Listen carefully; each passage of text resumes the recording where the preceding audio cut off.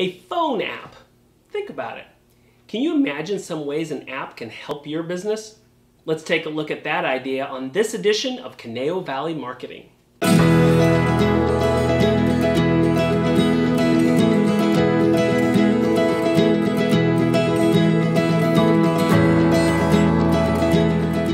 Whether it is a novel way of connecting with your customers and potential customers, or a time saving way to make your operation more efficient, an app might be the answer.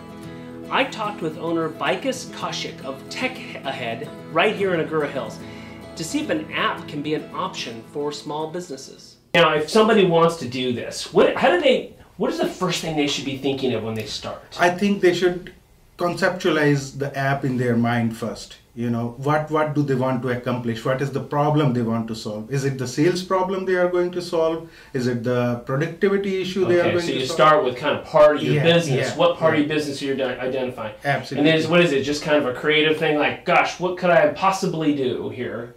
And then i come to you with that yes you come to us with a, either a broad idea or you come to us with a detailed wireframe or feature list you know if you have an idea we have experts who can turn your idea into wireframes you know what do you say okay wireframes or you know something which can which can be taken forward you know Oh, okay. understanding of the concept And remember to contact us if you want help building your brand in the Conejo Valley using social media and your website.